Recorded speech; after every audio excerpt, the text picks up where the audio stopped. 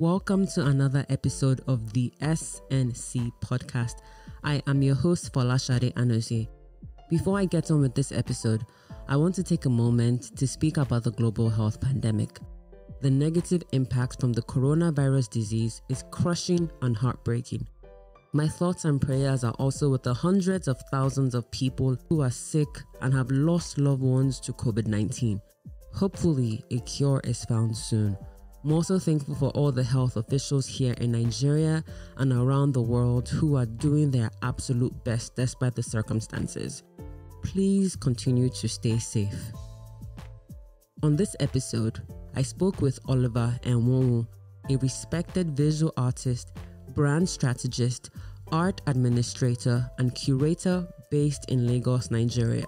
We spoke about the state of visual arts in Nigeria the process behind art valuation, art forgery, and more. Oliver Emo, welcome to the SNC podcast. Thank you, Shade. Thank you so much for being here. Happy and I am excited about the conversation that we're going to be having today. Yeah. But before we get knee deep into the conversation, let me introduce you.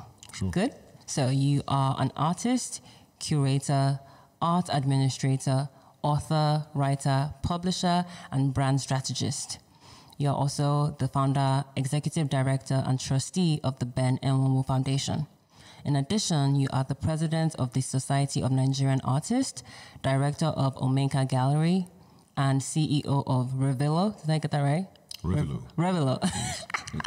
Revelo Company Limited. You sit on the boards of various organizations, including the Reproduction Rights Society of Nigeria and the Lagos Bien. Is that how do you pronounce that? Bien, biennial. Correct. Biennial. Okay. And I would be remiss if I didn't add that your father was the late celebrated Nigerian creative artist, Professor Benedict Chukwukadibia. Good try. How, what, what, was, what was up about that? Enwonwu. Enwonwu. Yes, Enwonwu. Enwonwu. Okay, Chukwukadibia Enwonwu. Okay. So, what was it like growing up with a father like yours? And how did that, if it did, affect how you perceive and appreciate the arts? Well, it was very interesting uh, now that I think about it in retrospect, because um, it's um, it's very easy for an artist's son to imbibe some of his father's uh, uh, leanings. I mean, I grew up smelling paint around the house. I saw him sculpt, you know, so this made a very strong impression on me as a child. And uh, while growing up, uh, he was very happy to notice, observe rather, that uh, I had uh, talent, and it was very encouraging. You know, while I was at King's College, I knew that he helped me cheat on a couple of assignments, art assignments, and he was very proud that uh, I won prizes while at St. Saviour's, even at primary school. Uh-huh. So he was a very encouraging father, very supportive, and he always wanted, you know, his um, his children to always be busy. He couldn't mm-hmm. stand uh, anyone who wasn't doing anything at a particular time. He always wanted you to be busy and he always believed in excellence. So he believed in whatever you do, you make sure that you do it to the best of your ability. Mm. So that was very important. And these were lessons that we grew up learning. Great. And was he the kind of father that said, okay, it's great that you have this artistic or creative background, but I still want you to go to school and become a doctor? Or he was supportive of the fact that if you want to pursue this professionally, go ahead and do that? Well, he always wanted his kids to um, pursue the academics, very important. Uh, but uh, I was his youngest son, mm. or I am his youngest son, and he wanted uh, his youngest son to be a priest. Wow. So I turned out wrong. yes. So I was supposed to be the one dedicated. Yeah. Yes. Wow. So you were like, so were you like, I'm sorry. What a priest I know, right? When I was young, I wanted to become a nun because no, of oh Sound of Music. So I know. Yes. And then I realized that yes. the life that I live, I would be kicked out oh, of the oh, convent. No doubt about it. Same here. So we share a lot in yeah, common. Right. Very so refreshing. I know. So what about your mom? Well, was she was she also supportive of you? My mother was supportive, but uh, as uh, far as I can remember, she always wanted me to be a doctor. Mm. Yes, I was supposed to be a neurosurgeon. Wow. That turned out wrong as well. Yes. Why did she want to become a neurosurgeon? Well, uh, because in her own time, she wanted to be a doctor herself. Oh, I yes. see. So she was kind of living her dreams through me. Through you. Okay. But and before I move on, I should note that you graduated from the University of Lagos, Nigeria, where you earned a degree in biochemistry, an advanced diploma in exploration geophysics with the distinction, and a postgraduate diploma in applied geophysics and visual arts,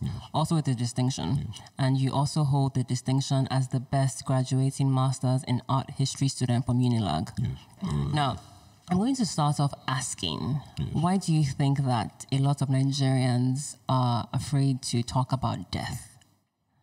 well, that's a very complex question. Okay. But I think that um, a lot of people, especially Nigerians, we grow up with family. You know, family around us. We have lots of shared relationships, a lot of, sh- of, um, bi- of um, shared ambitions. So no one ever really feels he's had enough time to achieve or accomplish this, uh, these things that he set out for himself or herself. And uh, a lot of people still feel very attached to their loved ones. I think Nigerians, uh, by virtue of who they are, they're very full of life. I mean, think about Lagos with all this chaos and the hustle and bustle of Lagos. You know, people enjoy that. So no one wants to just leave that behind, you know, just like that. So, in as much as we're a very religious country, and on every street you see a church or two, but I think Nigerians still are very full of zest and life. Yeah, but do you think that in addition to being full of life and zest and all these things that we want to accomplish, it is still important that we have conversations regarding the fact that tomorrow anybody can die, and we need to have proper plans in place on what could, on what will happen when that person passes on. Oh, I agree with you. Um, it's very important to have plans in place. I think that uh, our corporate sector, they scream about this almost every day with pensions. They scream about it with what happens with the afterlife.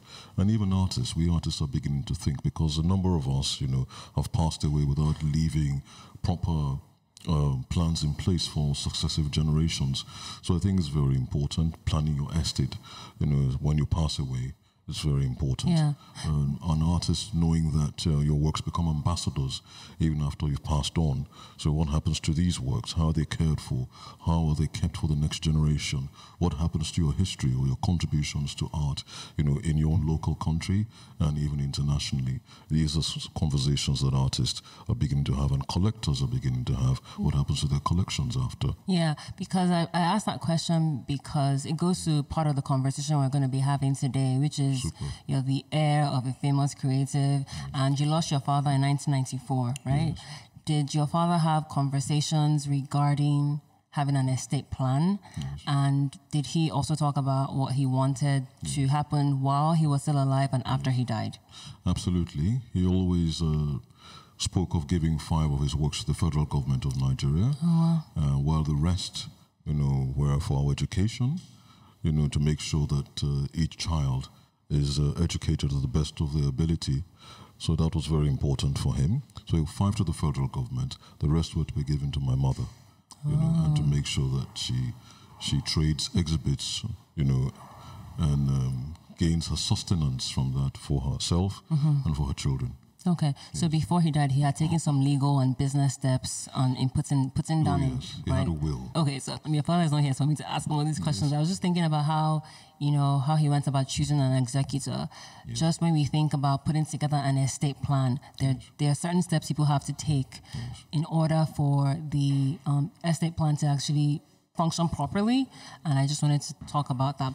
After your father died, you and your siblings, how what was going through your mind in terms of keeping your father's legacy at the forefront of Nigerian culture, Nigerian art culture? Because it's one thing for your father to say he wants to have five pieces of art go to the government and the rest to your mother, but you as children, what was going through your minds in order to secure his legacy? Well, it was very important for us because uh, when he passed away, even in his lifetime, we had people coming over to do their research on him. We know a lot of artists on uh, those in the academia today who have gained their PhDs just on research work on him. So it's very important for us to put all of this together. And my mom busied herself with uh, making sure that his written manuscripts were properly typed. She spent a lot of Wow. hours, you know, making sure that was put together. So my siblings and I sat down and we thought about the best way to preserve his legacy in a structured format. And then we thought about the foundation.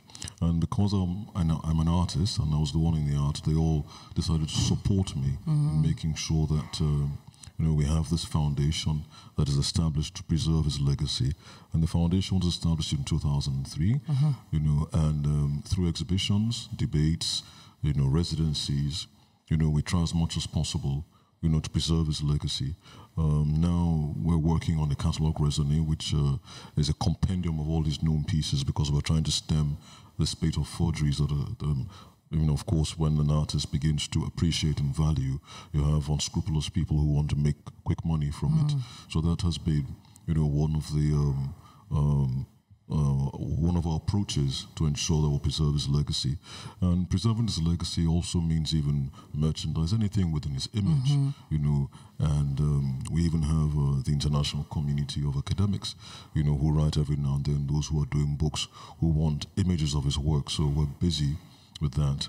And we're also planning more exhibitions both uh, on the local and international scene. Okay. You know, just um, a couple of years ago, the Tate in the UK had an exhibition, you know, um, with uh, him, you know, at the forefront, you know, talking about Nigerian modernism in art. So, of course, we're very happy to also work with these institutions in preserving and promoting his legacy. Now you touched on something about forgeries. How does so backtrack a catalog raisonné? Is that how Yes. pronounce it? What what is that exactly? It's a compendium of all his known works. Got it. You know, verified and Okay. authenticated. I think it's just important that we always break these terms down. Not Everybody know go school.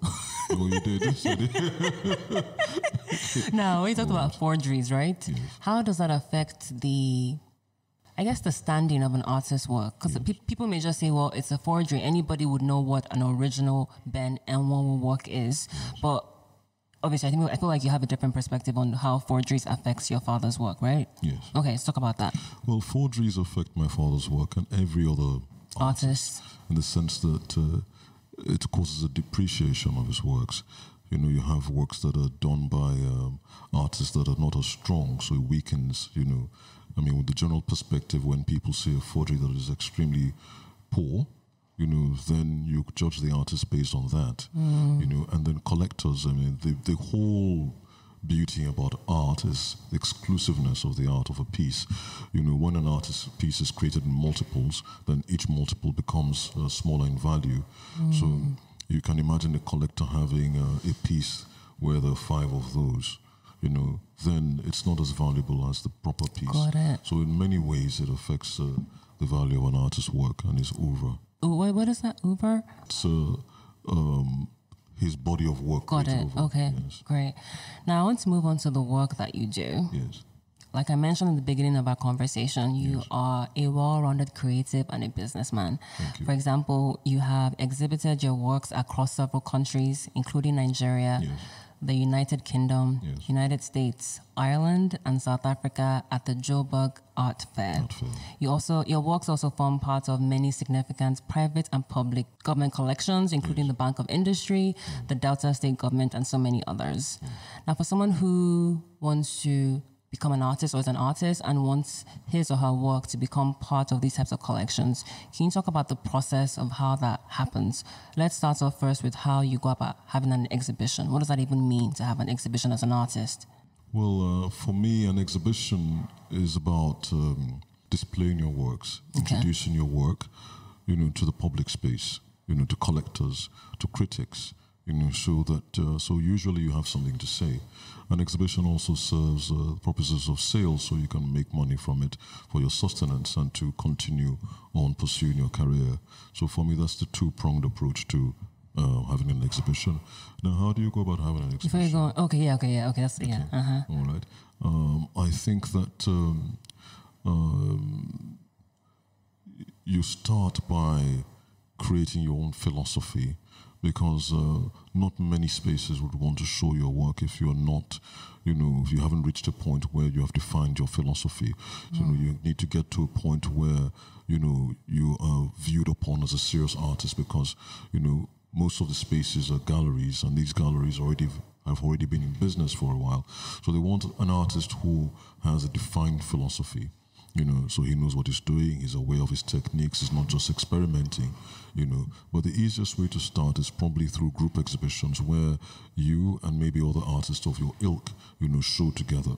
So you can enter into group shows, you can have joint shows, and then for me, the peak of having an exhibition is when you have a solo show, which means that you are now ready. You're no mm. longer experimenting, but you have something to say, you know, about your work. Of course, it is true that artists will go on trying to strive to achieve perfection all through their careers, but you must get to uh, some appreciable points, you know, where you can have shows. So they shouldn't be so regular, but uh, for me, these are the processes.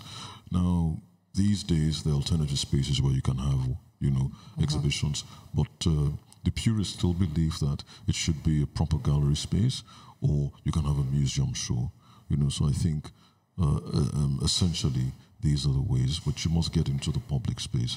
You know, for me, that's um, you, you must gain some sort of public acceptance you know, and that for me shows, you know, uh, how relevant your work will be. Okay, so don't just exist in the esoteric space, also be with, like I said, the public. Because I feel like sometimes maybe that's the issue that maybe visual artists or even just artists in general face is that sometimes you feel like you only your work seems to be only appreciated by people who have a certain level of whether it's intelligence, whether it's emotional intelligence, or what's what I'm looking for, whether you go school you understand? And the common man cannot even see your painting yes. and understand what it's trying to to convey. So I think that's a very valid point that you made that, you know, you also want your work to be in yes. a public space. Now, would you consider yourself a purist?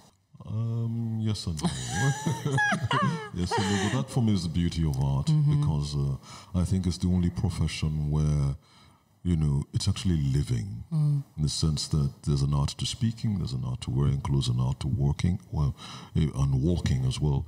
But um, let's go back to art, you know, and um, art can be viewed as a functional piece where you can even sit on it, mm. or even as cooking utensils, and then you can actually have fine art, which you know are for appreciation purposes, aesthetic value. Then you can also have art for religious purposes. You know, there's so many varying functions of art that, you know, and people have even been known to have investment worthy art. Mm. So it's even a store of value as well. So for me, it's so broad based that it's difficult to box art into, um, you know, a framework, for instance. You know, and I think that um, uh, having said that, you have art that uh, exists in galleries. Well, you have art that is in public space, for instance, statues of Mandela, for instance, a public space, and mm-hmm. remind people of how great this man has been mm-hmm. in his lifetime, you know, and his contributions to society at mm-hmm. large.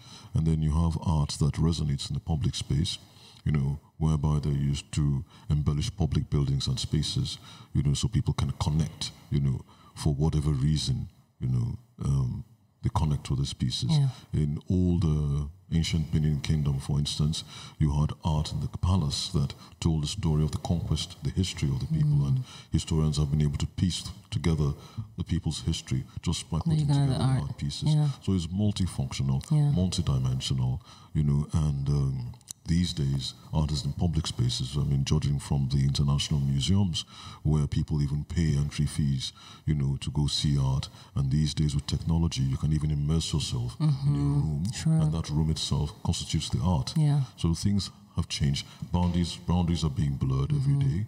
You know, so I think that art is all embracing and so encompassing now yeah. that um, it's um, it's no it's no longer tenable for anyone to say that art is elitist. So, how do, as an artist, yes. how do you decide what price that you're going to allocate to your works? Well, I think uh, let me speak broadly first about uh, how value is attributed to a piece. Um, first of all, um, you must consider the artist's uh, contributions to local, the local narrative, historical art narrative in his own community, perhaps his country, and then internationally. What has what have been his contributions to global narratives. You know, what schools has the artist attended? If he, the more prestigious the schools are, there's more the likelihood that his value or value for his work will be higher. Uh, where has he exhibited in his lifetime? Very important. And also, um, you know, um, who has bought his work? You know, such elements, even factors like that affect, for instance, if uh, a very famous person like Michael Jackson, you know, has bought a piece, even if it's the same work, you know, of similar size, similar year, similar theme by the same artist, is more likely that that piece will cost more. Mm. You know, so these things are extremely important. You know, and of course, even within the mediums, there's a hierarchy. For instance, sculpture and painting cost a more traditional uh, mediums, for instance, might cost even more than the drawings because drawings, you know, until fairly recently were just uh, means of um, conceptualizing what you are going to produce. You know, they weren't viewed as a finished work in itself. And then uh, painting with oils, for instance, you know, might fetch considerably more mm-hmm. than uh, painting with pastels or watercolor. You know, because oil, for instance, is not only a traditional medium, but you know, has been known to last even longer than watercolor mm. that is um, um, susceptible to ultraviolet light. You know, mm. yes. So yeah. I think, broadly speaking, now how does an artist price his pieces? You know, there's also peer review. You know, what do your mates say about you? What do the critics say about your work? You know, these are very important things to consider when pricing your work. So, if an upcoming artist, yes. or not even upcoming, I just let's say I become a painter. Yes you mentioned all these different things. So, for example, you went to a pre- prestigious school, and I went to a non-prestigious school. Yes. So, the way you're going to price your work yes. is you're going to give you can give it a higher price because of the schools you've gone to compared to my schools. Wow. Yes, because uh, you know that uh, sometimes if you work with the gallery, the gallery helps to set your prices. Yeah. So ultimately, you know, the galleries or your manager or your agent, mm. you know sets the prices based on the market. Got now, it. you're only as good as what the market will offer sure. or pay for your work. Okay. So that is a very nice way of even settling things very yeah. easily. I just think that, you know, there's so many conversations that are happening or yes. people are just talking about the fact that your school shouldn't be the determinant of how not even how successful you're going to be, but what sets the standard of how you're measured. Yes. So, because there are people who go to like prestigious schools and yes. their work is crap or they just don't have the talent. And someone maybe goes to Ogbomoso, whatever school, and because the school is not prestigious and that person's a better artist. Um, um, it's just one factor. No, yeah. The whole cocktail yes, of factors of course. that go into it. You know, but uh, there's a likelihood that because you went to a prestigious school, you can articulate what you're doing better. Of course. You've the critical side of yes. your work. You've met better professors who can influence your trajectory. Mm-hmm. And even while you're at these schools, what sort of education would you get? For instance, if it's a prestigious school in London, for instance, like maybe the Slade, it goes without saying that some of those lectures that you're going to have are going to be supervised by industry experts. So you're already noticed, you know, and if they see that you're a good student, for instance, they might develop interest in what you're doing. And of course, that places you because already you're going to be introduced to prestigious galleries. And galleries are the primary markets and they determine your work. Mm-hmm. So it's you're more likely to get that initial boost and exposure, which will determine your prices and put you right there right at the thick of the market, as opposed to if you studied here in Lagos or Benin, for instance, yeah. where you're limited by the influences that will you know, boost your trajectory. Ergo, life isn't fair. Life isn't fair. now, what is schools, These schools come with a history. No, of course. So, I, I so just you, you must pay for that. no, I mean, I must benefit from. I know. So better well. packaging is the, yes. is the moral of the story. Yes. now, what is the best way to preserve artworks? Okay. Like for example, the ones we have in your gallery now. What's the best way to preserve them? Well, the best way to preserve uh, art, you know, the very mundane level is to make sure there's uh, the humidity, you know, is right. You know, you don't uh, have your works uh, very close to where there's a high content of moisture. You know, make sure, for instance, that uh, uh, your watercolors are not exposed to UV light, so you must face them away from sun- sunlight. You know, you must have the right lighting, you know, on them so that it's not destructive to them. Um, uh, for instance, in a gallery like this, be careful about those who come in. They don't touch the pieces, mm. you know, especially with photography. you know, if it's not glassed, for instance, you don't want uh, the acid in your hands to affect it later yeah. on. Uh, you must make sure children, you know, are not even allowed here to run around. Mm-hmm. If you're having an exhibition opening, for instance, even little things like people carrying wine glasses, you Mm. know, they shouldn't come in because there's a tendency or you're at risk of uh, wine spilling on the works and damaging the piece. So these little rules are extremely important. You know, and how your work is framed is very important as well. If you, the, for instance, um, if you frame and you know, the glass is touching the frame, you know, for instance, there's a tendency that uh, in a humid environment, it will later on attach itself. Just to the glass. That, yes. So to it the has to be glass. enough space. Yes, and even for artists, you know, you must work even from the outset with the right materials, materials that would last. You know, you should make sure that you use acid-free paper, because later on you're going to have brown patches or spots, maybe the next 30 years on your on your pieces. Mm-hmm. So these are things you must, you know, you must take into consideration. And artists who don't prime their canvases or prepare their canvases properly before working have a tendency, you know, for those pieces to flake later on. So I also believe in preventive measures, you know, as well. Yeah. Those are very important as well. So having the right foundation from the Otherwise, get go and is If you're a sculptor who works in wood, you must make sure that your wood is properly dry. Otherwise, you're going to have cracks in it later on. So all of these things are extremely important in preserving, because even in preserving work, you also have to think about, you know, using the preventive measures as well. okay. You know. So you have 13 years experience Yes. and expertise from running a leading gallery in Africa, Yes. which is Omenka Gallery. Can you talk about can you talk a bit about what makes Omenka Gallery unique? Well, there are many things. I like that question. It's a very interesting question because even the name Omenka has a meaning. What does it mean? It means, um, I mean, in Igbo land where I'm from, it means um, someone who's creative, someone who It's an is Igbo word. Yes, an Igbo Oh, word. Yes, and um, it's a word I derived from my father's uh, manuscripts. Because when he passed away, I was going through some of his things. You know, we spoke of that earlier when I mm-hmm. said uh, sat down with my siblings to decide what better structure and what what's the best way to preserve his legacy. And we were going through his scripts, and I saw, I noticed that he was always going to have a gallery in his lifetime, which he never mm. accomplished, and he was going to call it Omenka. So I said to myself, well, if I ever have a gallery, it will be in fulfillment of his dream. Now, Omenka is an honorific, you know, for someone who's very gifted, someone who's talented. And incidentally, Omenka was his own father's honorific because his father was a traditional sculptor of repute. Yes, of so he was referred to always as Omenka. You know, so the first page of his autobiography, which uh, we're trying to put together to publish now, he wrote, "This book is written in honor of my own father, Omenka." So I said to myself, if I ever start a gallery, I'll call it Omenka. Now, why is Omenka unique? Omenka is unique because um, the artists that we represent, you know, have their own philosophy. It's very important. So. Um, we're we're very um, focused on representing artists, you know, whose work resonates with the African continent, because we believe in telling our own story. It's very important. Art history, especially in Africa, has been written by the West. So I think it's about time we told our own story and presented facts the way you know they've actually occurred.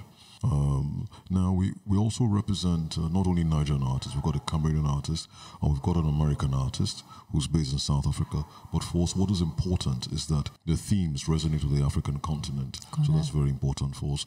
Omenka is unique because um, we not only represent artists here, not only are we interested in showing their works here, but we've been to art fairs on about five continents, you know, showcasing, you know, at some of the most prestigious international art fairs like the Armory, like Art Dubai, like uh, Cape Town Art Fair and Joburg Art Fair. So it's very important for us to, you know, expose the artist as much as possible to broader audiences. Okay. And did, did the artists contact you or you contacted them? Is that how it works?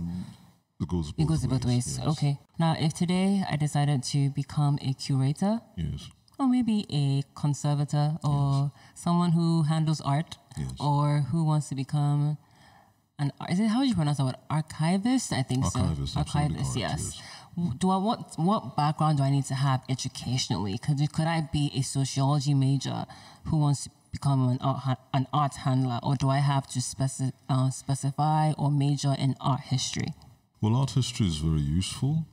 Uh, there's no, you cannot underestimate that. You know, having um, any um, study of art is extremely important.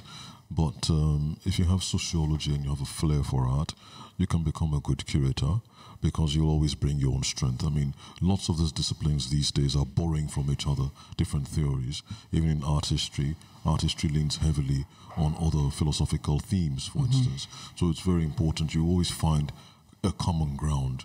But I think by and large, what is important is that you also study as well. There are curatorial principles you must study. You must gain um, professional on on a hands-on experience. So I think these things will make you more rounded. And as a curator, you must continue to study. You must go for international residencies. You must read as broadly as possible because art is not just about enjoying it for the aesthetic purposes these days. Mm-hmm. It's all about how it fits, what relevance it has to society, mm-hmm. what relevance it has to history, what relevance it has to us as a people in forming our identities. You know, so especially in Africa where we're in the post-colonial realm, you know, trying to identify ourselves, trying to bring about what is true to our own roots and culture. You know, you must have a sense of history and sociology mm-hmm. to be a successful curator. So there's no knowledge lost, you know, but you must also learn the principles of curating, and it's all very research-based. That's kind of going along with those lines. What would you say, yes. or what opinion do you have on the state of visual artists and arts in Nigeria? Well, I think that uh, it's on the rise. I mean, you you can't compare the state where we are now with 20 years ago. I mean, judging by the galleries, which are more professionally run, judging by the more exquisite catalogs, you know, containing critical text, you know, when you also consider that there's a secondary market now, we've got uh, two or three major auction houses that are doing extremely well and establishing the prices for Nigerian art and artists. You know, when you also look at the fact that we have international uh, events like the Lagos Biennale, uh, you know, an ART X, you know, and auction houses like mm-hmm. Art House Contemporary. I think these are very important uh, factors. I mean, just the other day, um, the Yemisi Shyllon Museum was mm. birthed. You know, so you can see that there's a structure now beginning to form, yeah. and that structure is extremely important. What we need now is public and private sector partnerships, the funding, how identifying the value chain, making sure there's government support, you know, mm. uh, you know, in creating, you know, um, a level playing field, or to make sure that regulations, you know, you know, are in place you know, for instance, we don't have uh, a national gallery of art, mm. you know, just like you'd have maybe the British Museum, for instance, where you can see the heritage of a people, you know, and I think that's extremely important, you know, in understanding ourselves better, you know, as a people and showing peaceful coexistence, to- coexistence and tolerance. You know, these things are very important. Yeah. You know, how are we not able to have a proper national gallery of art where people from all walks of life, you know, the international community can come to understand our peoples and culture better? Mm-hmm. You know, these are things that we need to have in place. How do we grow our tourism potential? You know, knowing full well that in all the developed climes, you know, this sort of uh, this sort of structure, you know, is like very useful to to uh, national development and tourism, for instance. So I think that um, you know, by and large, We've got staggering prices for art now. International auction houses, you know, are dedicating, you know, whole departments to the sales of African art, especially art from Nigeria. I mean, the other day we found uh, a Tutu going for over a million pounds, but we still need structures. Yeah. We still need storage facilities, mm-hmm. companies that businesses that do storage, businesses that run uh, transport because it's an art. You know, mm-hmm. having to move art, especially if you are going to have to ship it abroad, for instance, it has to be safe. Insurance companies, for instance, that are specialized in insurance policies for art and artists because we're very specialized people, you know, very peculiar. Um, what else? We also need um, art lending companies. You know, if you say, for instance, that a Tutu by Ben Enwonwu went for over a million pounds, why is it that I cannot take that work of art to a bank and get a loan for it. You know, these are structures, you know, and so there's still room for growth. Otherwise, what we'll find that is that the next couple of years, you know, will be stagnated or it can even reverse the growth achieved mm-hmm. so far.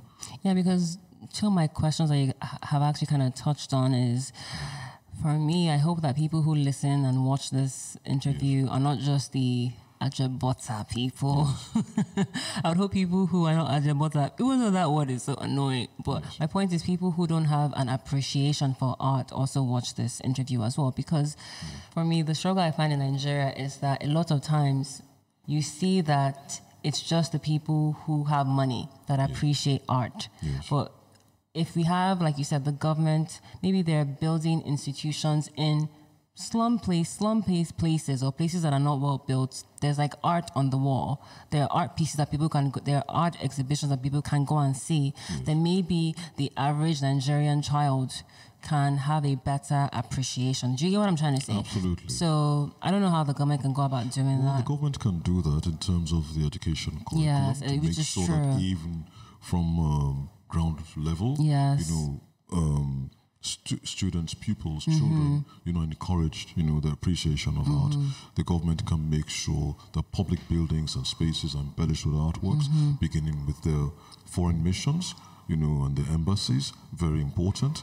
You know, when you come into Lagos, for instance, you cannot tell the people who they are, you know, by being in the airport, for instance. And that, for me, should be the very welcome notice to say you are in Nigeria. When you set out to travel to even uh, South Africa, for instance, you immediately pick up on the culture of the people. When you see the geometric forms and shapes of their art, you can tell that you are in South Africa.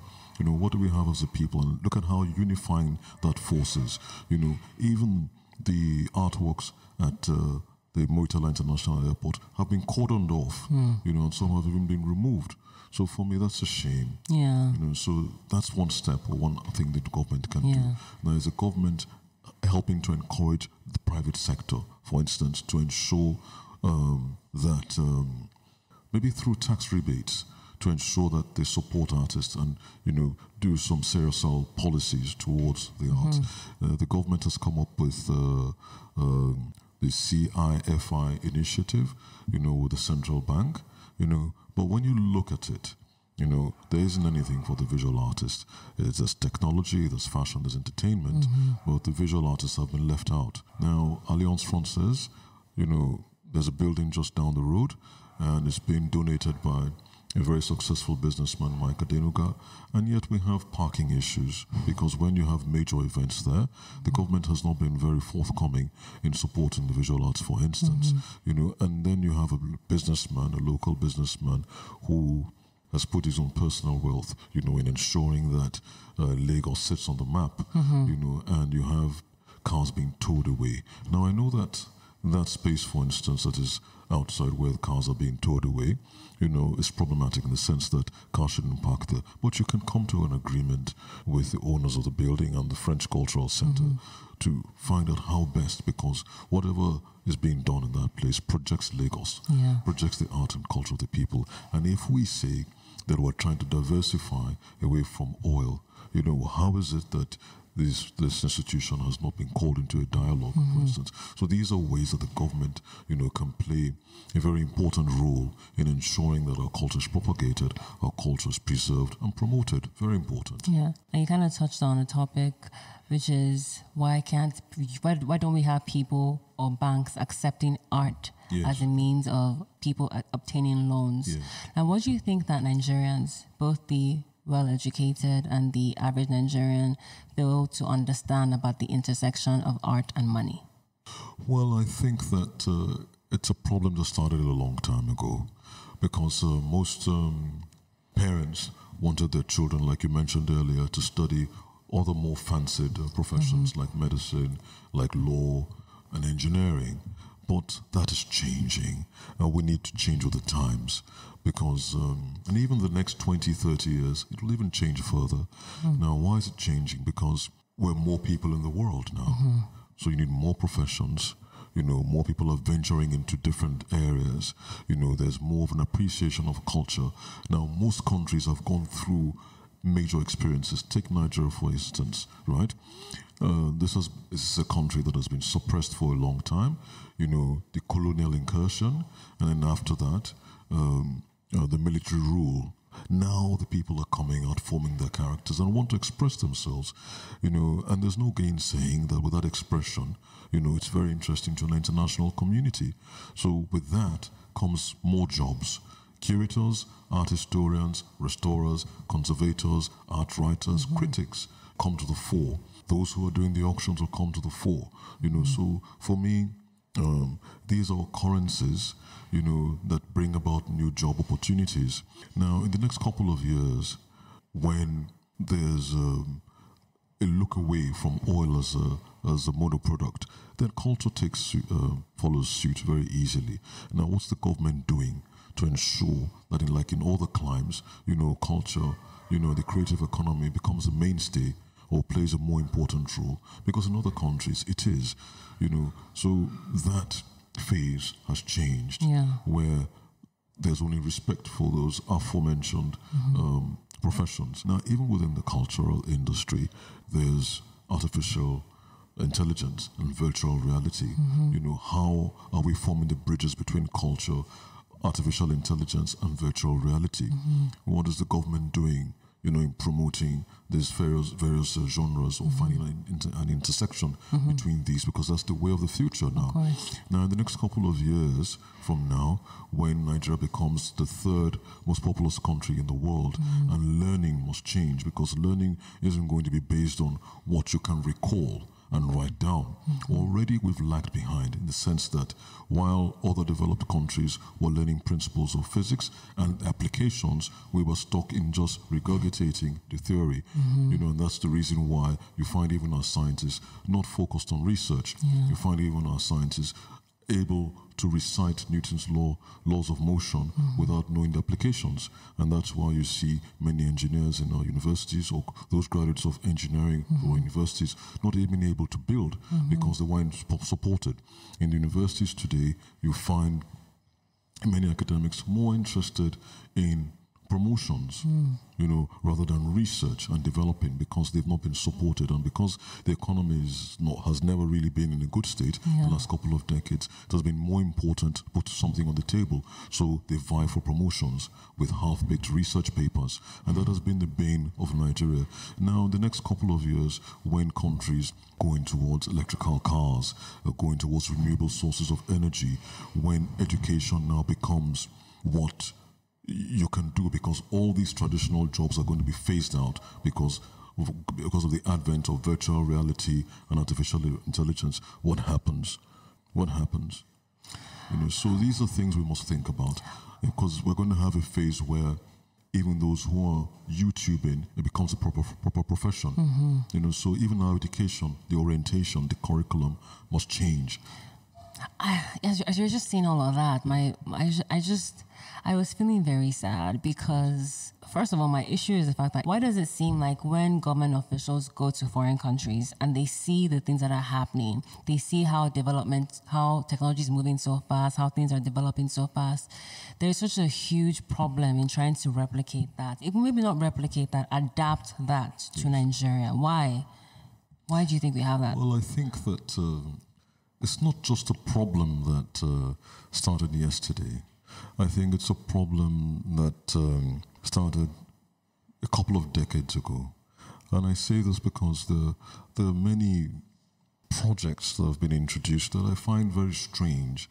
And I think that uh, some of these projects or initiatives, uh, you know, other developed countries do not adopt them. And one of this is um, the quota system. You know, how do you get um, to be very good at what you do when you're not judged, you know, on the merits merit. of your abilities? You're judged because you come from a particular region in the country, you know, and uh, that's not good. That's not good at all. And it goes without saying that when you have such products getting into the choicest secondary schools from common entrance level, and you can see how it's developed as you go along up to university level, and these graduates come out who are not the best you have, and some of these people get the best jobs. So right from the very start, because they don't even have the capacity or the abilities, they can't think out of the box, they cannot improve, they can only imitate to a certain degree. Mm-hmm. You know, because it, it even takes an intelligent person to imitate. For instance, you know, if you look at a beautiful piece of art, you know, why do you need experts to detect a forgery?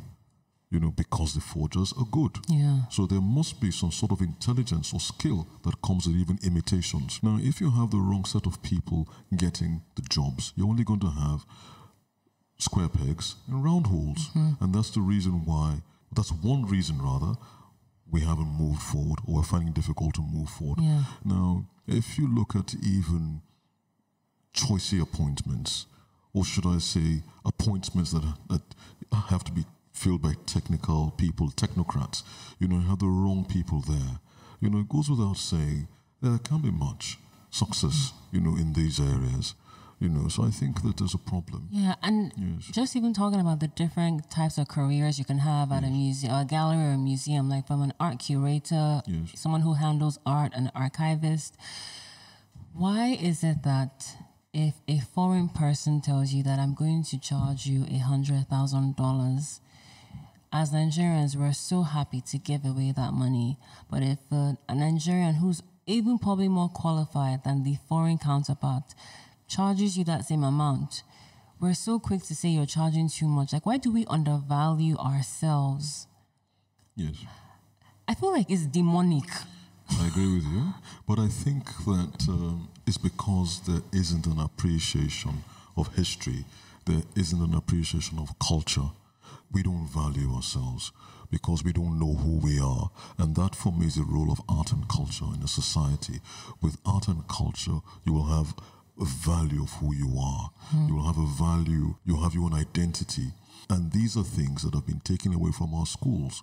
You know, how many schools are studying history? How many schools are studying art? You know, how many spaces are there for you to understand yourself? For instance, in museums, how many museums are functional and are keeping in time? You know, keeping you know in tune with today's 21st century museum practices. How do you have a vision, a collective vision, a collective identity?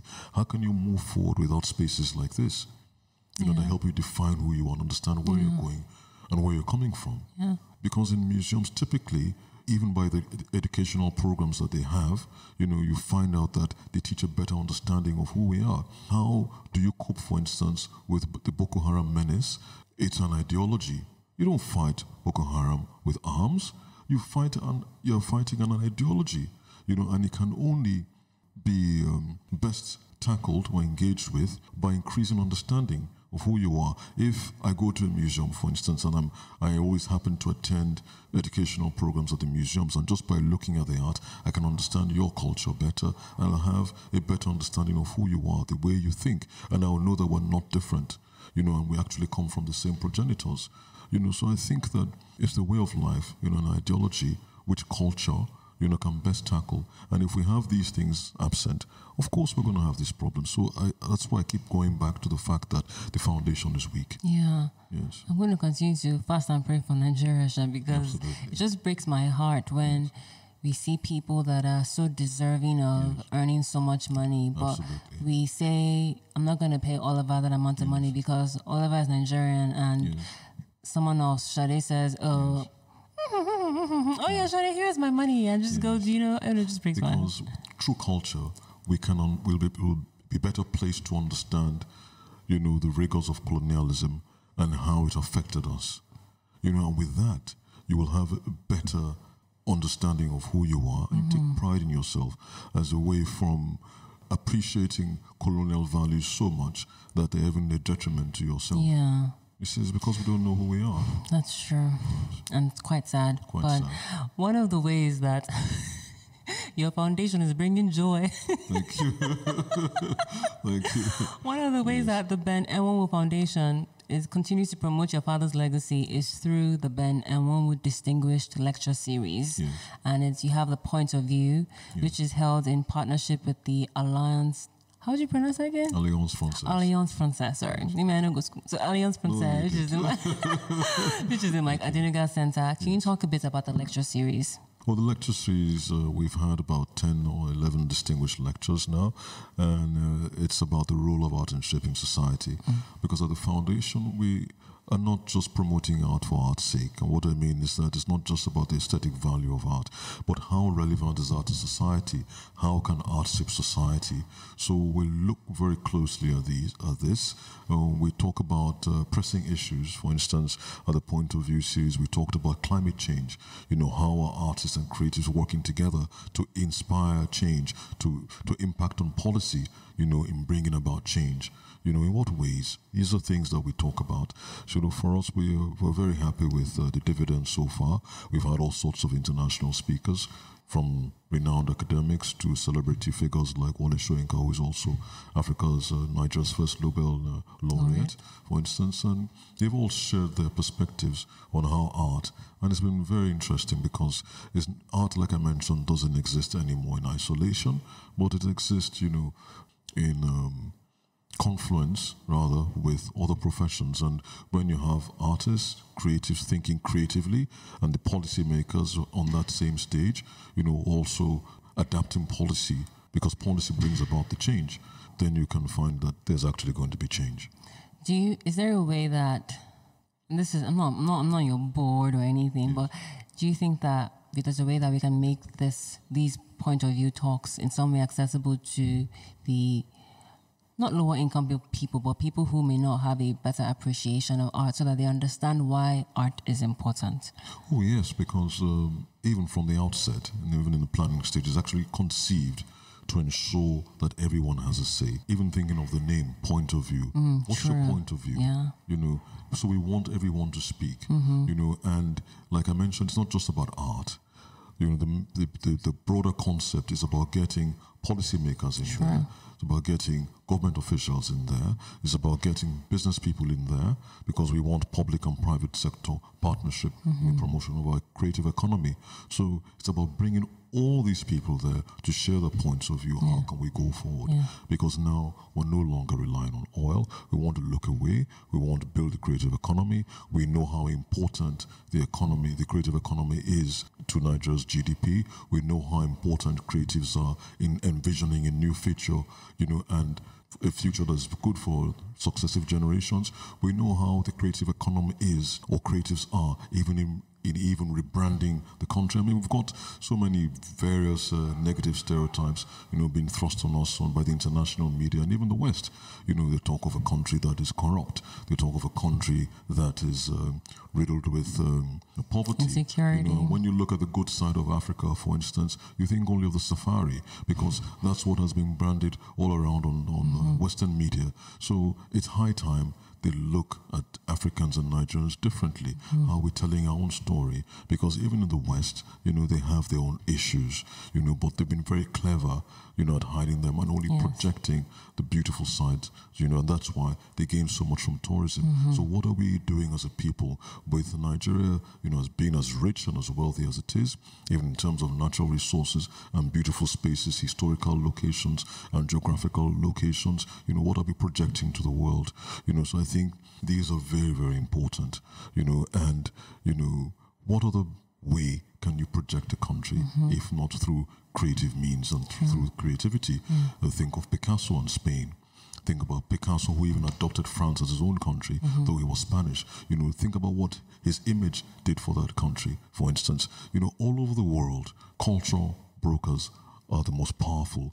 So it's not you know, how much you spend on advertising or taking out adverts on international media, but what are you doing in terms of the creatives? Because I think through creativity, we can actually rebrand our country and tackle, you know, or change negative stereotypes of yeah. our country.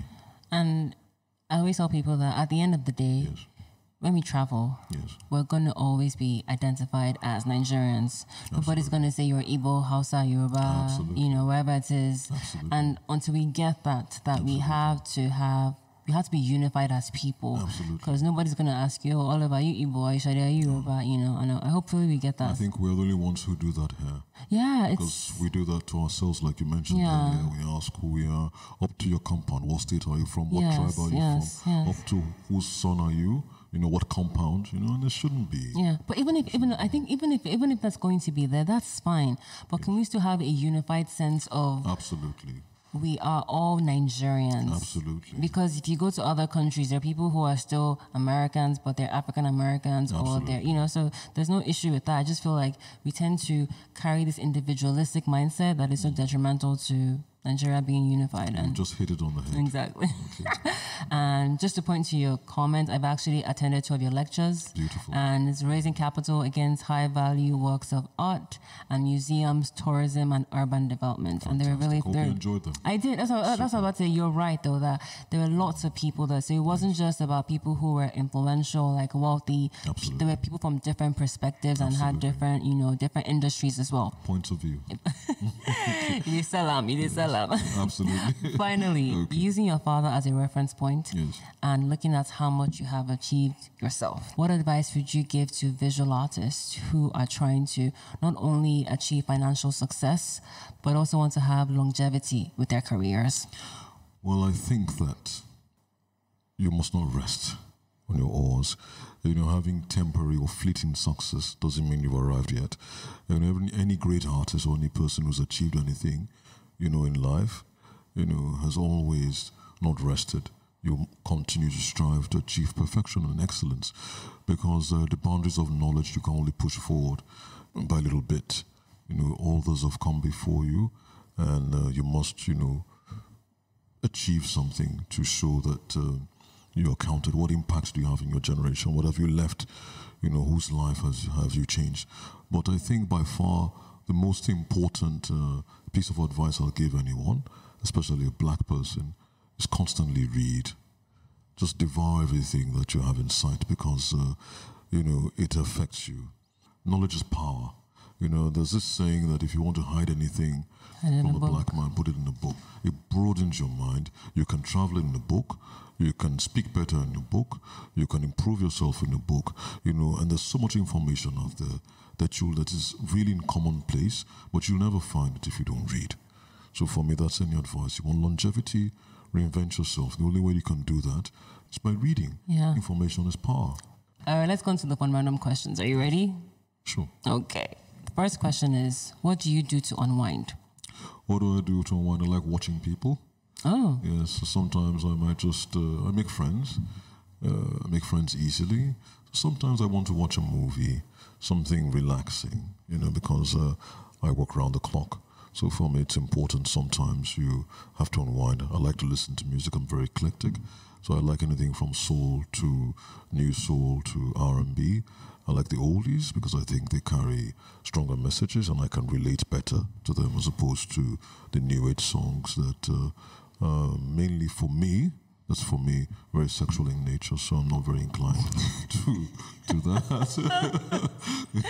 yeah, the second person I've interviewed this year, I'm like, I guess it's a generational thing. yeah, it's just too sexual. I think that uh, it's all a marketing tool. I mean, if you've got substance, you don't have to. But Yes, that's But- my take. but the old songs that you you you claim to like, Yes. they were. I keep on saying that they were sexual. So is it that they were not overly sexual? Not overly sexual. They, they spoke more of love. There's respect. You know, Yeah. As opposed to, you know, I don't want to mention some of these things. Yeah, but- and they were, and the um, today's songs actually um, debase women in a way. Yeah. Because you you watch some of these videos and people are tossing dollar bills, and that's debasing as far as I'm concerned. Popping money. Okay. who's your favorite? You know, I'm going to do that. Who's your favorite new age artist of? New who age was your favorite of Nigerian? 2019? Yes. Nigerian? Yes. Well, I like Asa. Okay. New age. Okay. New age. Yeah. Uh, Okay. she still counts. Yeah, no, no, yeah, okay, like okay. Usher. So, Usher, cool. Third question: Complete the sentence. Life is. Beautiful. That's good. What are two things that people may not know about you? not many people would know that I'm a very quiet person deep down inside because uh, I um, organize a lot of events and uh, people see that, you know, and then it's very easy to think I'm an extrovert, but deep down I like my own space. Final question: You can only keep one. Which are you picking and why? Anyanwu at the headquarters of the UN in New York, Sango at the Power Holding Company of Nigeria headquarters in Lagos, or the drummer at the Nitel office in Lagos? I Why? because of what it represents. It represents um, an emergent African nation, because at that time, many nations in Africa were gaining independence. So it speaks of a people who are getting liberated. It speaks of a people coming into their own, and it was created in promotion of world peace. And so for me, easily I resonate with that because that's uh, embraces almost everything that I do. Okay. Yes. Well, thank you so much for your time, thank Oliver. You thank you, Shade. This episode is produced and edited by me, Folashade Anozie. Theme song for the show is by Imodu Ayonote. The podcast is available on Audiomack, Podbean, Spotify, Apple Podcasts, Google Podcast, iHeartRadio, and Stitcher Radio. Simply search for the SNC podcast, which is one word, no spacing.